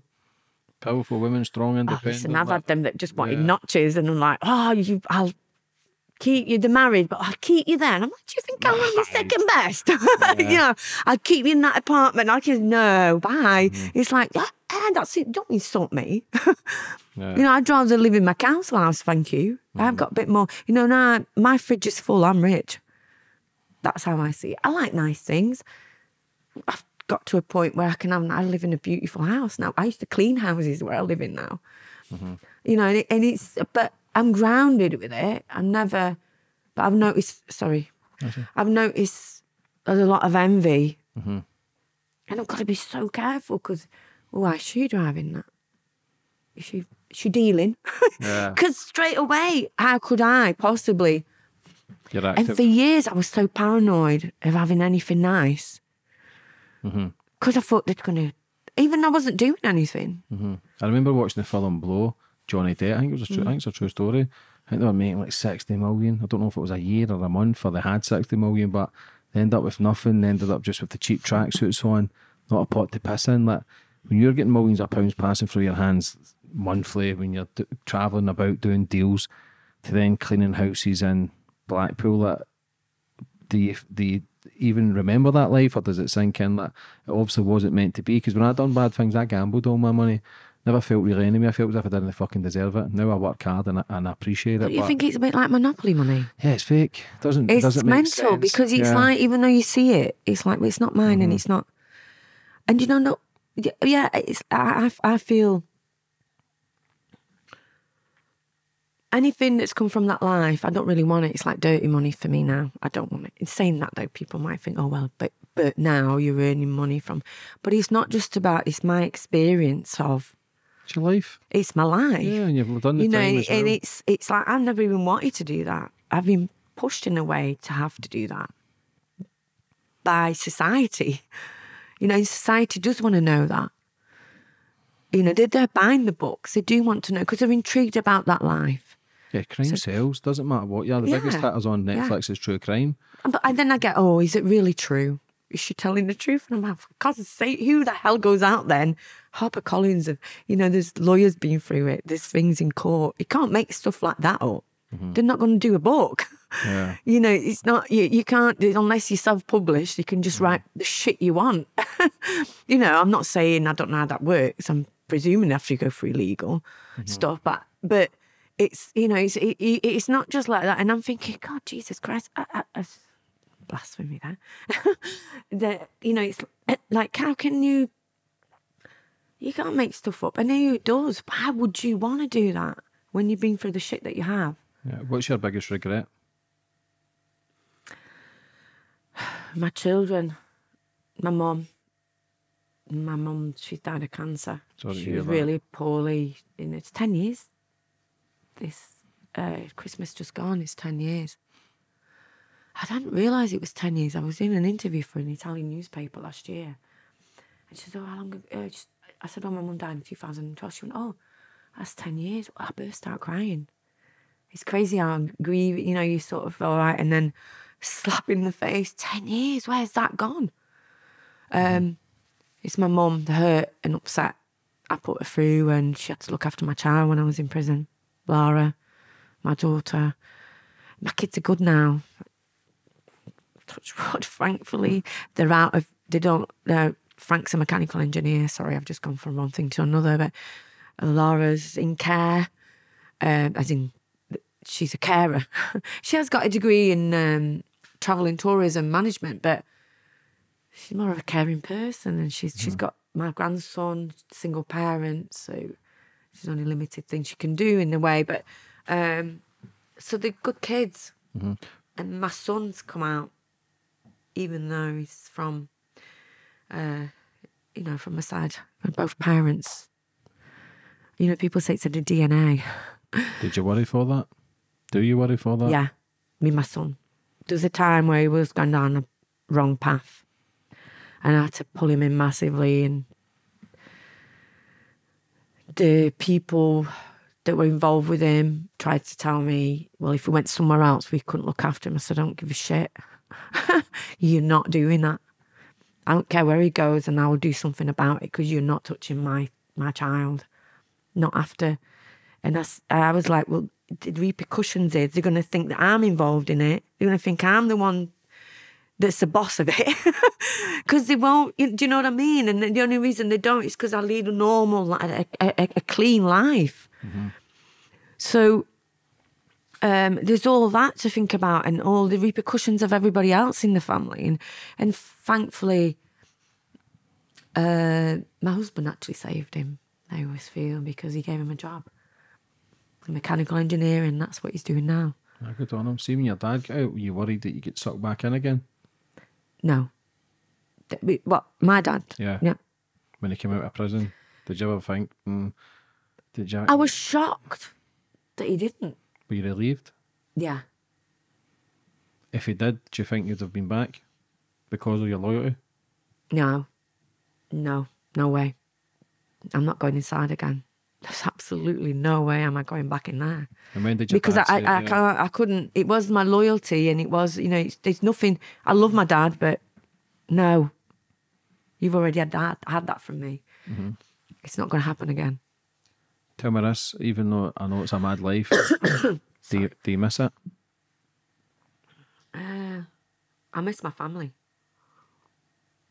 I miss how it used to be. I miss 20 of us at the table, my nonna cooking from six in the morning with an apron and then organising the shipment. you know, it's like, it's, it's crazy, you know, and she, yet she, she was so ruthless, yet she'd give you a last penny and have another 20 people eat. You know, at the table, it, it's crazy and people don't understand that side of it. But um, that's what I, I miss my family. I miss the way we used to be. I miss it was never about material stuff. How many levels in the mafia is there? Especially your family. So you got you got the the soldiers, lieutenants, you know, generals, and then you've got the the chief, haven't you? Is that the Don? So the yeah, that was my father and my nonna in a way. she sounds like a proper badass, doesn't she, man? Uh, she was she, but as I said, she was so soft as well and man. giving. Mm-hmm. You know, she just scratched my head and looked for nits. at 22. you know, it's like just this habit. This is really crazy. You see what I mean? It's like, and she, I didn't have Nate, but it was a, a thing of like when you were younger, she'd be like mm-hmm. looking for them. I mean, I did have them when in the 70s, and you had to shave your head then. You didn't have all these powders and lotions, and you know, but she's still at that age. She scratched my head and then start looking on what you looking at, Nonna. Have you got any this? it's like, no. Mm. Sorry, it's just silly. It's crazy, you know, to think. And people don't see that side. And of course, there's that ruthless side. And then, but you're talking about people that are grown up into that. They're born into that. Didn't know any anything. I knew different. I knew right from wrong, and I still made my decisions. And like I said, I'm not trying to, you know, I'm not. I'm not a victim in this. I'm not. I did do wrong. I put my hands up. I've done time. But how much more am I supposed to pay for it? Yeah. There's only so much. You can't keep living in the past. What makes a good soldier in the mafia? loyalty again. Being on time, you know, uh, discipline, loyalty, knowing you can trust that person. If you if you're in a situation where, you know, we used to go go around with armored cars and weapons in your cars because you, you didn't trust anyone, even though you were quite strong and people were feared you. There'd always be that crazy person that would come along and think, "Ah, I might be able to do," it. and there was. Um, and in fact, they put he put about hundred thousand lira, which was about eighty thousand pound, on my dad's head. And my dad was so he said, "I'll give him double just to walk away." he said, "I was so insulted. That's all I'm worth." And he was just some miserable guy that wasn't even. He was affiliated to another family, which was a, against my family down southern Italy, but he was a nobody. But that's where you get that who want to come up the ranks and you think they're so, but they're not. Mm-hmm. They're not. And I guess, you know, businessmen that want to become gang criminals or like, it's not going to work. It has to be the other way around. The criminal that try that becomes the businessman, mm-hmm. Because the businessman has never got it in him to be ruthless like someone that's been born into that life. Yeah. What's the worst thing you've seen while involved in the mafia? The last thing. The worst thing? the worst. Uh, I guess one of them was knowing that guy was going to die. Um, Why do you think that's the one thing that stays in your mind? Were you close to this man, or did you know? because I knew him and I knew the family, and he had children, so I felt really bad. I did feel really, really bad, and I still do. You know, to this day, that they didn't grow up with a with a dad. But then he made his choices, didn't he? He was an, he was old enough to know who he was going up against and what he was doing, the risks he was taking. So that wasn't on me, was it? To, I guess, to carry it on my shoulder. Uh, it's just hard when you know someone's going to die. you can't stop it. Um, But see, when you think of that, if their family growing without a dad, and then while you're pregnant with your son, then his dad gets killed. Did you see the resemblance? Did that play a massive effect on your mind? Yeah. I used to have a reoccurring dream. It's crazy, this. For years, of running with my dad, police chasing us, running for an airport. They shoot my dad, he's on the ground, and I'm grabbing him, crying. It was the same to every small detail, it was the same. I didn't have it all the time, but it, it was over years. And then that happened with Frank and he got shot. I always thought my dad was going to get shot and die. It's obviously a subconscious thing of the life he was living. And then that happened with him and it compl- it destroyed me. I'd only been out the year before from prison. That kept going. I was surviving, surviving, surviving. And my son, obviously, and my daughter, of course, but I was pregnant with him, so I had to keep going. I don't know what I would have done if I wasn't pregnant, to be honest. So see when you came out at all and then you start working on yourself, you're talking about being a criminologist and digging deep and kind of working within that. Was there a lot of tears? A lot of regret, a lot of pain? I had just buckets of tears. Release I can't well? cry anymore. All cried I out. can't cry anymore. Is that a good thing I- or a bad thing? It's a bad thing. I want to be able to cry. I can't. It, I just, I'm, and it makes it looks like I'm really hard. I'm not. But when I do cry, I, I can't stop. I could cry a whole day. Um, but I just I can't I can't I, I can't. I wish I could. Maybe I should go and see someone, or I don't know. But um, I'm keeping it together. You know, I'm quite level headed. I'm doing what I'm doing. I know what I want and what I don't want. So, uh, yeah, but there have been buckets of tears. And of course, the ultimate was when Frank died. How's your relationship with your dad now? It's good. It's the best it's ever been. I love him. I can't, I can't not, you know, I'm not gonna, I know the background. I know what he's been through. I know what he's done and what he hasn't done. And he's not a, he's not a bad person either. He's done bad things. But, you know, people say, say, uh, oh, you're not that person anymore. But we are.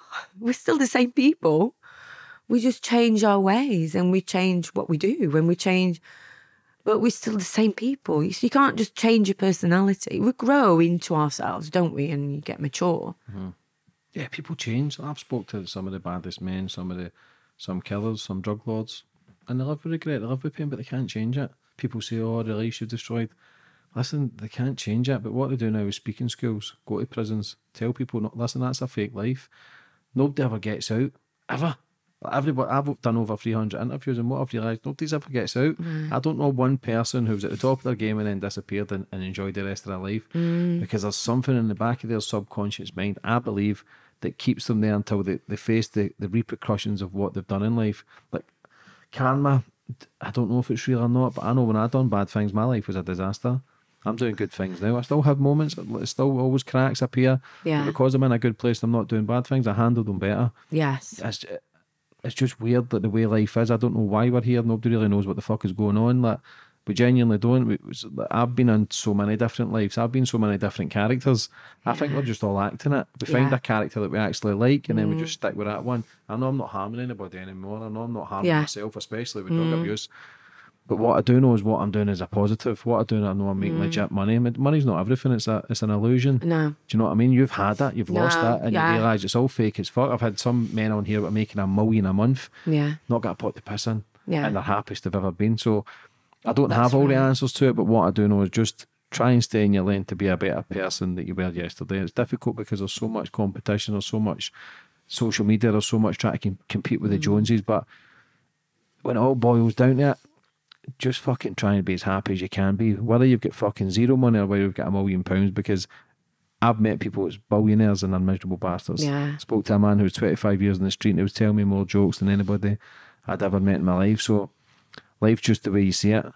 Go Mm-hmm. through your whole life. Like, what do you think? Speaking about it, like, does it bring back a lot of emotion? Because obviously these Yeah. interviews run a wee bit longer than most. So Yeah, no. I, every time when when I do talks, it's quite draining for me as well. But but it's like a therapy as well for myself as well. because I've had to suppress it for the ten years after, suppress so much, and now I'm able to actually I can get this out. Uh, so in a way, it is like a therapy in a way, and if it helps someone else. That's my even if it's one person.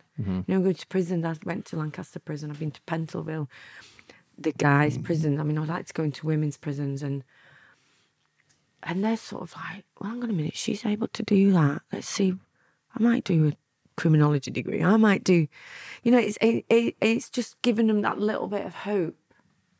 Mm-hmm. And why not? Especially when you're in there, because you just think, oh, just, my life is over. Yeah. How do you learn from the past to then give yourself a better future? The experience of it, isn't it? Mm -hmm. Don't repeat certain things and try and just just enjoy life, the simple life. You know, you go for a walk on the front in Blackpool. It's you know it's cold, but it's beautiful. Listen, you're in Glasgow today, Yeah, folks. it's, no. That's summertime down there. yeah, it's pretty cold up here. Uh-huh. Um, so you know, it's just just the simples. The kids laughing, my grandkids having them. I love my grandkids. I'm so family. We normally have them every weekend because uh, Jim's got his children my sort of my grandkids' age, so he started later in life. So. We have them all there. One time with my two older ones, like six of them. We're like, whoa! But we wouldn't have it any other way.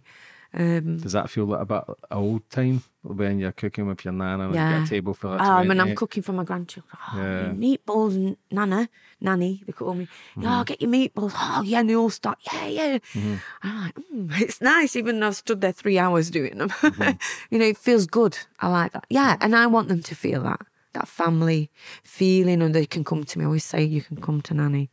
Anything, I'll never judge you. Mm-hmm. You know, I'll always, one's 10, one's four. I think the four one's so clever. She's so um Mm-hmm. so on on it, and uh, do, do you know? And, I, and I'm proud of them, and I just think, my, like my, my children, whatever they're doing, I'm proud of them. It's hard. It's hard for my son being told, you know, your mum's that, your dad's that. It's like he at one point had to show, well, what am I? Like he had a, an issue with this person of having to show his testosterone, I guess, isn't it, as well? Having to show, and it's like, you don't have to show anything to anyone. Uh, he's a good kid, you know. He's a he's but he's a bit of a scrapper, you know. He's, he's tattoos and good looking lad, six foot two, and uh, but easily could have, you know, and had a lot of, you know, f- people have said mostly it's positive stuff. Ah, you're Marisa's son, aren't you? So everybody goes, like they go drinking. You're Marisa's daughter. You're Marisa's son. You know, obviously, I've wrote that in the the, the series. So, um, but before that, I didn't even know. I didn't want anyone to know who I was. I didn't want none of that. Were you embarrassed? I just wanted to be left alone. Yeah, and ashamed. Not embarrassed. I was ashamed of like keep my head down. The Done judgment. wrong. Yeah. But then I'm you know when I do my talks now. That's okay. When I do my talks, a lot of the students have said, You're owning it now. I thought, yeah, actually I'm owning it now. It's on my terms. It's like if I do interviews, newspaper, we control it now with Amanda. You know, they can't just write what they want. They can't like they used to. That's what they did. So that's a, that's good that I can, and I am, I guess, owning it more now. Where can people buy your book? Um, Amazon, Waterstones, probably Amazon's the best. Is this going to be getting turned into a film? Yeah, it's series came out this year, Yeah, it came last out year. last year in April. Yeah. But would you a possible film as well? She usually do series, these In the future, possibly. Yeah. Uh, I don't know. I'm sort of tied in some contract with. I have been asked with uh, Amazon Prime, so uh, uh, it's it's a bit of a yeah. But in the Yeah. future, Listen, you know, hopefully, man, you've lived that life. You as well make money from it, legit. Like, I know people can be embarrassed or ashamed to think, but there comes a time you, like you say, you're more open to be talking about it now, Yeah. and that shows that you are healing. I'm ready. Yeah, and Yeah. that's the main thing because you're always going to think about the pain of the past. People say, "Oh, stop living in the past." I preach the power of now, which is all about living in the present moment. Mm. But if I'm happy, my negative thoughts will kick in and tell me that I shouldn't be happy. And sometimes it can ruin my day. It can for a day, two days, and then I go, "Wait a minute, I'm doing that thing again." These days for me used to run months, months. Then it was drinking, then it was drugs, then I didn't want to do anything. So I'm in a great Mm. place still, but I still struggle. I still fucking feel I just can't be asked that. What have you learnt the most out of that life? Um, to try and be a better person, really, I think. As in learning to accept myself, not to please everybody else. I feel like, and not to try and save tormented souls. Because I feel like I've had relationships after my father. I suppose probably slightly sort of like my father, like you were saying before. There's an element there of Frank being like of the. I've always been a magnet for Pain? criminals. I've, not that I've gone out looking for them. They've looked for me. They've actually found me all the time, and I've gone, oh well, you know. Um. So, yeah, I, I'm. I. I. It's just learning to sit right in my own skin, and to not be ashamed anymore Yeah, of of, of my past because ultimately I'm also a good I'm a good person as well you know I try and do good deeds and I'm not that I don't, I don't go out my way to tell anyone or show them you know like these people they'll go and give a homeless person some food and then record it I've done that I'm not recording it it's for me it's not I don't need to to show you know it's it's not it's but I just want to be good for my family and and just live the rest of my life with no hassles and no, you know, not looking behind my shoulder. Yeah. That's good. Fair play. Like for anybody that's watching, it's maybe stuck in a life of crime or out of a life of crime, but trying to move forward. Like, what advice would you have for them? Get out of that environment. Get away from the people around you if you can and get out of that environment. That is the first place to start. You cannot try and change if the environment around you is still the same. Would you like to finish up on anything? Well, thank you for having me. It's been good. And um, just, you know, please don't commit crime. Ah. it's not worth it. Marisa, listen for Thank coming on you. today and telling your story. I thoroughly enjoyed that. You've definitely lived life. I can see that you're a proper person. I wish you nothing but fucking success and whatever dreams you go for in the future. I hope you achieve every one of them. God bless you. Thank Take you, care. James. Thank, you.